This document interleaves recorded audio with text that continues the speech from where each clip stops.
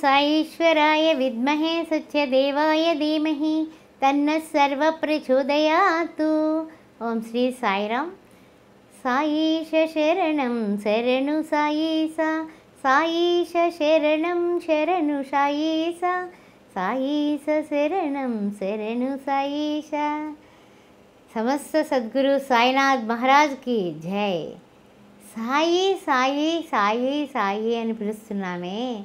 ఈ సాయి యొక్క నామాన్ని గురించి మనం ఒక పదం చెప్పుకుందామా? వేదాల్లో ఎన్నో రకాల శ్లోకాలు రాసి ఎన్నో రకాలైనటువంటి విషయాలన్నీ పెట్టి వేదాలన్నీ కూడా పూర్తయిన తర్వాత కొన్ని కొన్ని అక్షరాలు మిగిలిపోయాయట. అవేమిటో తెలుసా? శివ సాయి హరి రామ ఇలా కొన్ని కొన్ని శబ్దాలు శబ్ద మాత్రము చేత కొన్ని కొన్ని రెండేసి అక్షరాలు చొప్పున ఈ ద్వి అక్షరాల పంక్తిలో కృష్ణ. అంటే కృష్ణ అనగానే తృష్ణ తీరిపోతుంది. రామ అనగానే దుష్ట భావాలన్నీ కూడా రామ అనే శబ్దం ఎలా ఉంటుందండి మనకి? రామ. అంటే రెండు పెదాలు కదులు కలుస్తున్నాయి. అంటే లోపల ఉన్నటువంటి కామ క్రోధ మద మోహ లోభ మాచర్యాలు బయటికి వెళ్ళిపోయి లోపలికి వచ్చేవన్నీ కూడా పాజిటివ్స్. అన్నీ కూడా నేను బాగుండడమే కాదు పది మంది బాగుండేటట్టుగా చేయి భగవంతుడా అనేసేటటువంటి మకార తత్వం రామ శబ్దంలో ఉంది. ఆ మకారమే ఓం నమశివాయ మరి రకారం ఎక్కడి నుంచి వచ్చింది అంటే రకారం ఓం నమో నారాయణాయ అనే అష్టాక్షరి మంత్రం నుంచి వచ్చిందే అది. అందువల్ల సాయి ఒక ఆయన ఒక ఆవిడట ఎక్కడికో వెళ్ళిందట. వెళ్ళి వెళ్ళి వెళ్ళి వెళ్ళి అన్ని తీర్థయాత్రలు చేసుకుని ఆఖరికి బాబా గారి దగ్గరికి వెళ్ళిందట. మా వెళ్ళి నాకు ఈశ్వరుడు అంటే ఇష్టం. అందుకని నా కొడుక్కి కూడా ఈశ్వ ఈశ్వరు అని పేరు పెట్టుకున్నాను బాబా గారు. నేను ఈసా ఈసా అని పిలుస్తున్నాను. అంతేగాని ఈ సాయి ఈసా అనే పిలుపు నాకు లేదండి అంటే అమ్మ ఒక్క పదిసార్లు సా నీ యొక్క కొడుకుని పిలువమ్మ ఈ ఈశ్వర్ అన్న పేరుని ఎలా పిలుస్తున్నావు పిలువమ్మ అన్నారట ఆయన. అంటే ఈషా ఈషా ఈషా ఈషా ఈషా. ఏమొస్తోంది? సాయి సాయి సాయి ఈషా ఈషా ఈషా. ఈశ్వర సర్వభూతానాం. అంతటా ఉన్నటువంటి ఏదైతే పరబ్రహ్మ స్వరూపం ఉందో అదే సాయి తత్వం కాబట్టి సాయి తత్వంలోనే సర్వము సర్వ జగత్తు కూడా నడుస్తుంది సుమా. అన్నది మనం ఆలోచించినట్లయితే చాలా ఆనందంగా అనిపిస్తూ ఉంటుంది.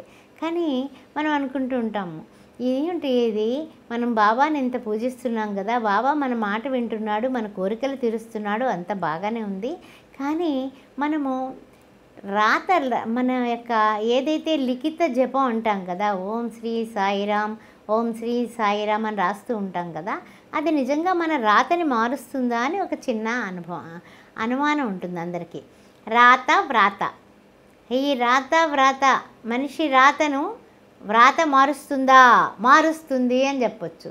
కారణం ఏమిటి?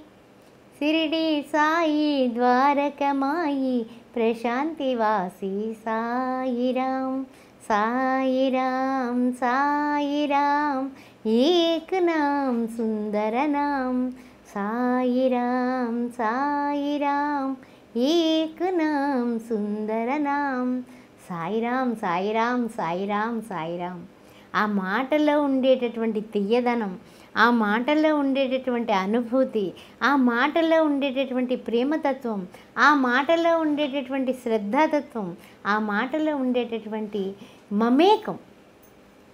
ఇంక వేరే దానిలో ఉందా? లేనే లేదు. అందువల్ల సచ్చిదానంద సద్గురుడైనటువంటి సాయినాథ్ మహారాజుని మనం మరల మరల మరల మరల దర్శించుకుంటూనే ఉన్నాము.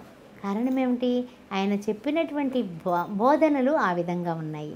సరే ఒక్క పాయింట్ మనం తీసుకున్నట్లయితే నా భక్తుల ఇంట్లో లేమి అనేది రూ లేకుండా చేస్తాను అని చెప్పాడు ఆయన. చూడండి బాబా భక్తులు వస్తూ ఉంటారు కదా మందిరానికి. వచ్చిన వాళ్ళందరూ కూడా ఆర్థికంగా ఏమీ లేకపోయినా కూడా వాళ్ళు అనుభవపూర్వకంగా ఆధ్యాత్మికంగా కోటీశ్వరుల కింద లెక్క. సంతృప్తి అనేది వాళ్ళ ముఖంలో కనిపిస్తూ ఉంటుంది.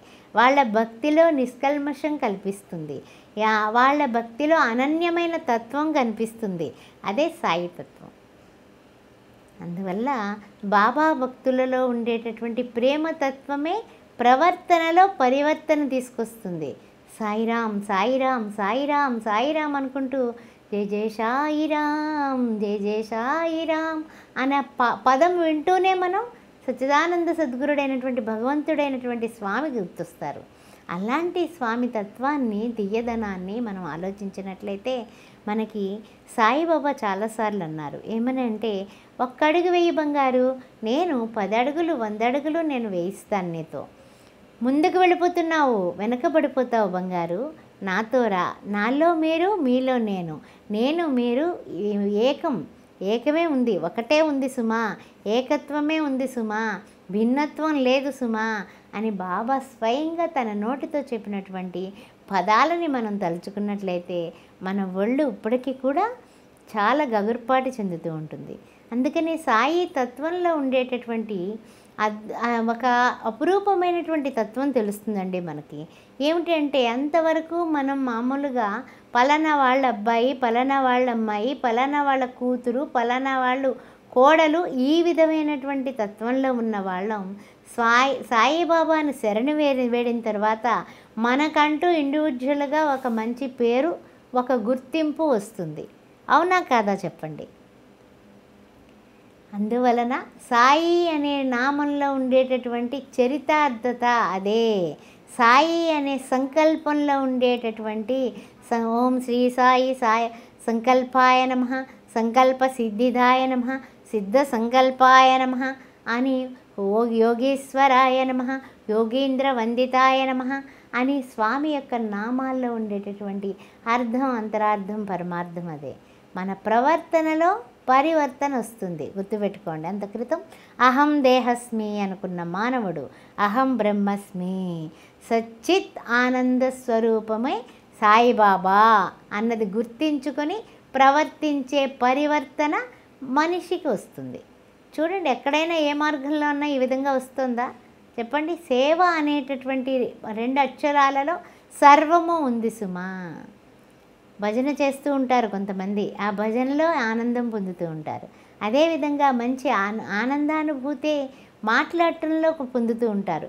మంచి బాబా గోబా గారి గురించి బాబా చేసినటువంటి మంచి పనుల గురించి తర్వాత మంచి శ్రద్ధతో ఆసక్తిగా చెబుతూ ఉంటారు.